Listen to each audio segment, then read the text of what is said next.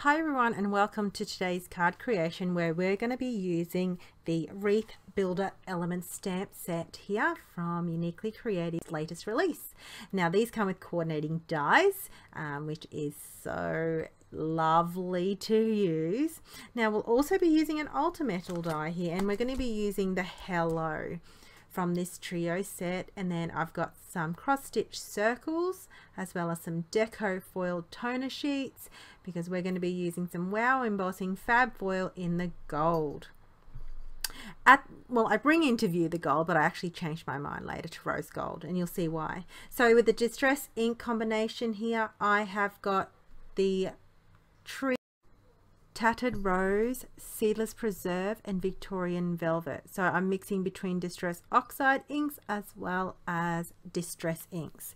So here's the circle die cut and I've got my ink blending tool. Now I will be starting with the lightest ink first. Now my biggest tip with working with distress oxide and distress inks is make sure that you clean your surface and don't use the same um, ink blending tool because you don't want to mix the two inks up, the two ink pads up. So to protect the surface, my surface, I um, have used a post-it note so I'm not putting fingerprints on. Here I am going back to Tatter's, Tattered Rose. I'm going to be toing and froing because I really want to make this blend really seamless.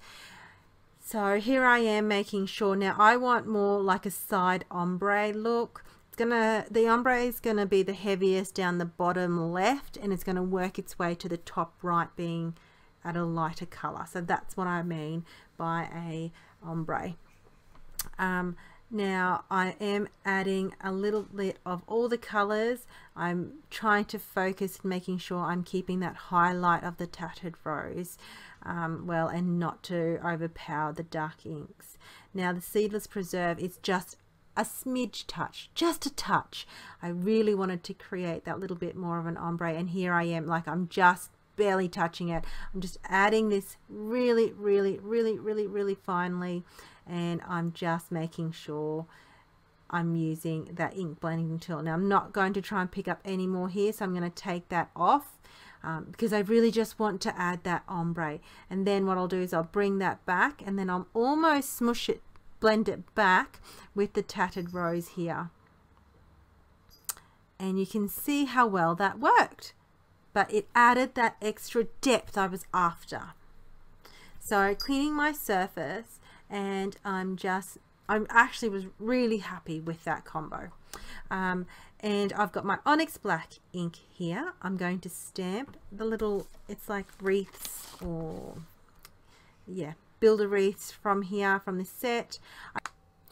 I do choose Onyx Black ink because of the fine detail in this image and I do take my time in making sure I've applied an even amount of pressure um, because it is quite a detailed um, image.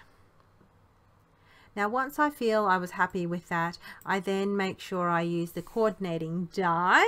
I love that these dies are already cut apart. Well, I don't have to snip them apart. Like how convenient is that?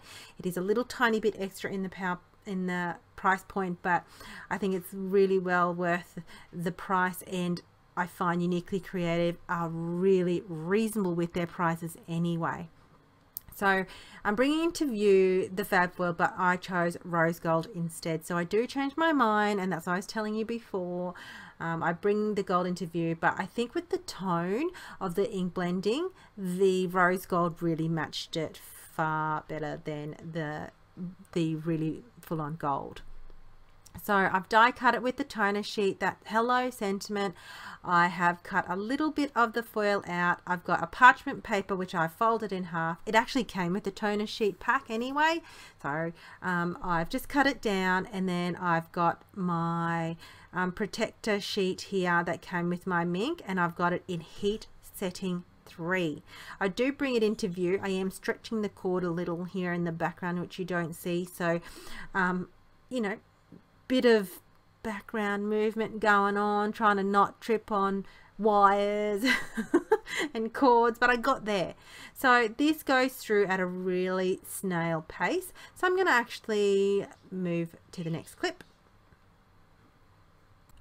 and we here we are to the reveal I just love foiling I love how it's just as magic as heat embossing not really I take that back but just the wow factor. And look at it. That's beautiful. Oh, like magic. Uh, okay so I've got my pen adhesive here in the Molotow. No this is not the Molotow. Um, I'll find the right name shortly. That's it, the Zig two-way glue squeeze and roll pen. I so was not even close, but you know, you could see it in the view. You totally knew which one I was using. All right, so I'm making sure this is adhered down like I am going across it, just making sure that, not going across, going around it, and I'm trying to get as much adhesive as I can on here.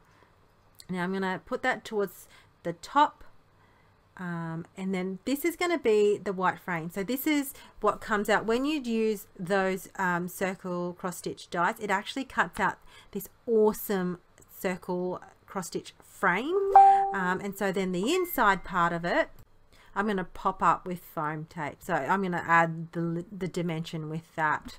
So I'm going to adhere that down. As I said my aim is for the ombre to start to the bottom left that's where I'm wanting the ombre to start and then right as if the light source was coming to the top right.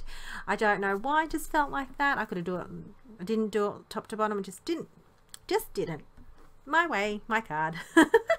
All right, so then I'm then um, using the same zig two-way glue squeeze and roll pen um, and I'm adhering that. Now I'm making sure I'm a little bit more careful because this does this is liquid. It does come out and when I squish it down I don't want it to ooze out on the side. So I'm actually just putting um, little tiny dots. The pen works really well for this. Okay so then I'm just going to make sure I don't drop it, which I've done before in previous videos and gently placing that down. Um, I didn't want to get glue on my fingers so I used the back of my adhesive.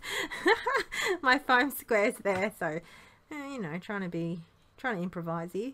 Um, and then what I'm going to do is I'm actually going to directly put that on there.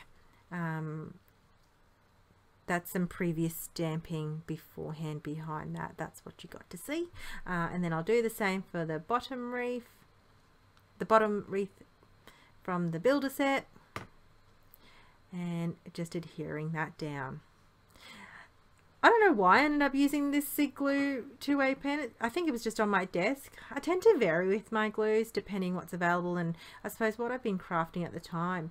So this is actually a really good glue. I like it for fine details.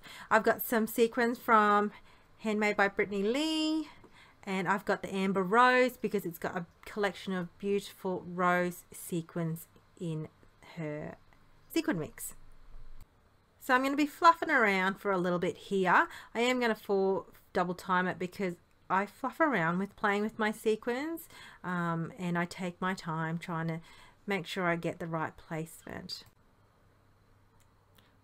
Now I'm just making sure I get the right, not only number of sequins, but the right sizing. I don't want to just um, place it willy-nilly everywhere. I do, I do, I don't know why. I usually don't pay this much attention, but I did this time around. I think because I'm using more than what I normally would have.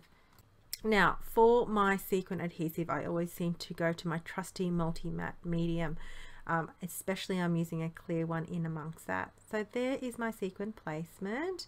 I hope you enjoyed it and thanks for watching and I cannot wait to hear from you.